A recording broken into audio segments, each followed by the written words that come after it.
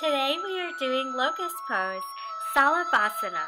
We flip our palms to face the floor and try our best to bring our elbows all the way underneath our body. We try to think of our little baby fingers touching side by side. It's not supposed to feel very comfortable, this pose. Chin is up, neck is long. We lift our right leg up off the floor to 45 degrees. We straighten out the right leg and drop our right hip down towards the floor.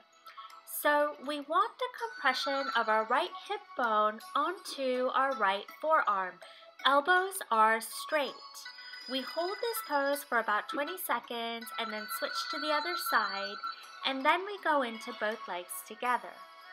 Not only does this pose strengthen the upper back and help with slip discs and sciatica, but also the compression of the hip onto the forearm helps secure tennis elbow.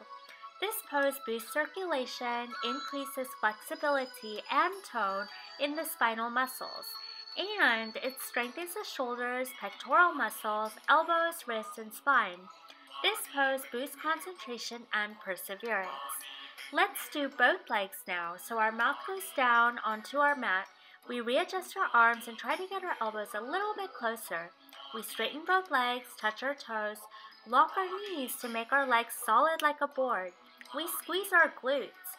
We take an inhale breath and as we exhale, both legs lift off the floor. We use the glutes to pick our thighs up off the floor. We use our hands to push the upper body into the floor and keep our shoulders down.